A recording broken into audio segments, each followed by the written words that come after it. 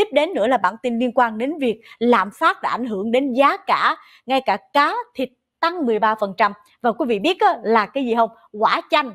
tăng 99% à, và chi phí hàng hóa đã tăng cao gây khó khăn cho những người tiêu dùng. Giá thực phẩm tăng đến gần 9% trong tháng 3 so với một năm trước và tất cả các gia đình đang phải gánh chịu tình trạng lạm phát. Chi phí bây giờ là rau, cải rồi cá thịt đều tăng tới 13%. Riêng những trái chanh đó lại tăng tới 99%. Cho nên người Việt của chúng ta, nhất là quý khán giả ở tại vùng Orange County rất là may mắn khi quý vị dễ dàng uh, gọi là có được quả chanh ở trong nhà của mình. Cho nên nhà nào đang trồng cây chanh, đang trồng cây cam và chúc mừng cho quý vị nhớ giữ lại đừng có chặt đi nha và rồi bây giờ tăng rất là khủng khiếp giống như là ờ, giá thịt cá là tăng 13,4%, các loại ngũ cốc, các sản phẩm bánh bánh mì thì tăng tới 94%, sữa tăng 7%, trái cây và rau quả tăng 8,5% và bây giờ đây thì uh, tất cả mọi thứ đều tăng giá như vậy cho nên là chúng ta chắc phải uh, cẩn thận trong vấn đề chi tiêu uh, rồi mình uh, hy vọng rằng uh, là vấn đề đó sẽ được tốt hơn khi mà cuộc chiến của Nga và Ukraine chấm dứt.